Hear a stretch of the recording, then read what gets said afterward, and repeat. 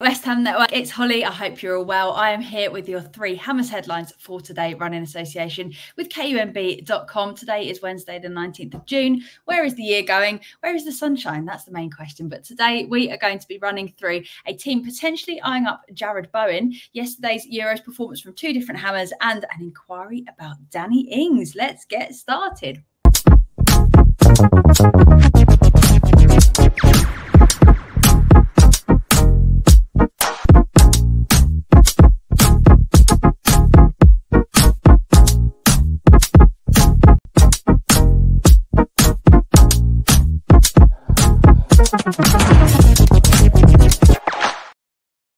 For your first story, David Ornstein has reported that Newcastle could be interested in gaining Dave, David Bowen, Jarrod Bowen's signature as they look to strengthen their right wing. So his daily column suggested that a move for Bowen could be on the cards. However, not actually going to be as their first choice. So this is because he said that Eddie Howe is going to be targeting Michael Olise as the first choice. But if that move doesn't go ahead, then Bowen is likely to become a target. So I'd like to think there's very little in this story. Bowen as second choice, no official move or discussions yet. Bowen being committed long term to his future at West Ham it makes it quite a difficult link. Then, given Bowen's form for us and the fact that we want to be competing with Newcastle, would make this an incredibly expensive move for the Toons. So, not one that I'm overly concerned about until we actually hear anything official about anything progressing here.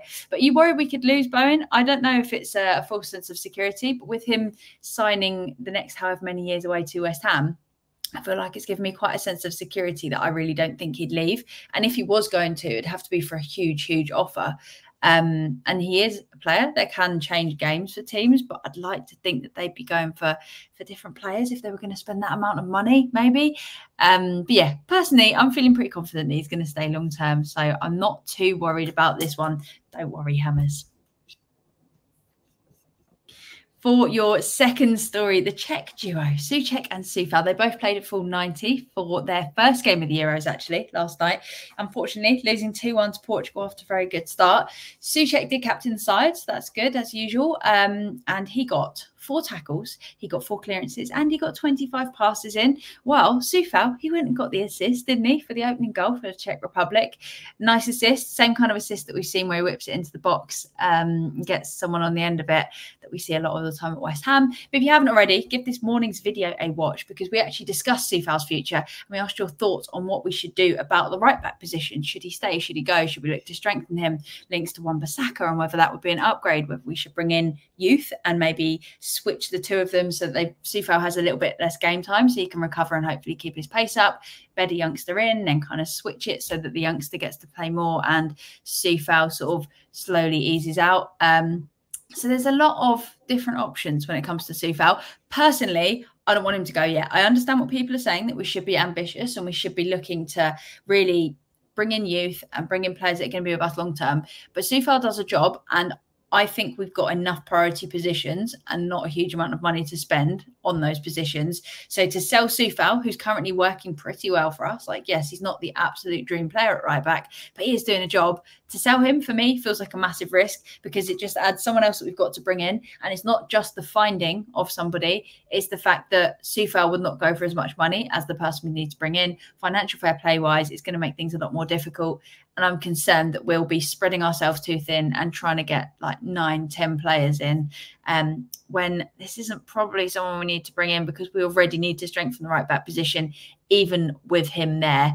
Uh, so, yeah, personally, I don't want him to go because I'm a little bit scared. And finally, Southampton have inquired about Danny Ings. So he's currently a West Ham player until 2025, I believe, having scored one goal in 30 appearances across all competitions for us. Not great as a striker, but in, in the most recent season, he started only seven matches, and this doesn't look like it's going to change anytime soon. So Southampton are said to be happy to offer up to £6 million so some money to be recovered there. But Ings is reportedly, you know, just wanting to suss out all those options and work out who he could go to, who would be after him, and yeah, just assess those options before making any decisions this summer and jumping at the first opportunity. But that said, Ings definitely must have a soft spot for Southampton. He had a really, really successful first spell with them. Um, he actually scored 46 goals in 100 appearances between 2019 and 2021, something which there's no way he doesn't remember that fondly. So I'm sure that he uh, is liked by the fans and would potentially like to go back, even if he's a little bit older now. Um, and then, given that we paid £15 million for him back in January 2023, Ings would join a really long list of strikers that we've lost money on after an unsuccessful spell at West Ham. I actually did a video on this earlier in the year, maybe even last year, where we spoke about the different players that we've brought in as strikers, the hopes that we've had for them all, the the track records that they've had, um, and then how we've we've paid a certain sum for them, either struggled to get the best out of them or struggle to get the best out of them and then not use them or like Ings like seven starts we're not using these players that we're bringing in lo and behold, they don't perform well. And then we struggle to sell them unless we sell them for a loss.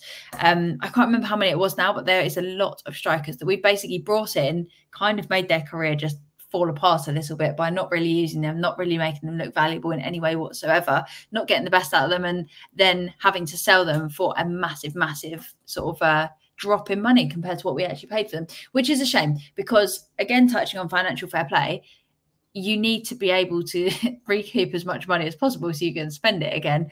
And the problem that we've got is where you're just dropping, what do we say, 15 million and 6 million. So, like, you're losing 9 million on Ings. Fine.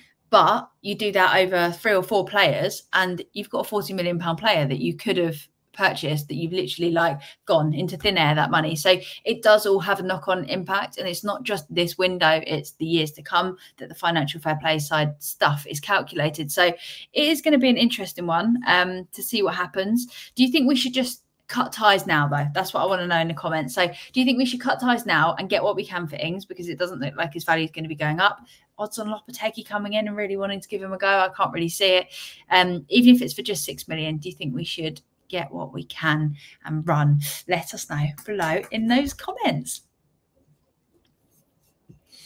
So there we go. Those have been your Hammers headlines for today. Thank you so much, as always, for watching. If you're new around here, hit that subscribe button. And whether you're new to the channel or you've seen us a million times, give this video a thumbs up if you've enjoyed this video and turn those notifications on so you'll be notified every single time we put a video out. So you never, ever, ever, ever have to miss one. Lucky you. Have a brilliant day. And until next time, I've been Holly. Come on, you irons. Irons.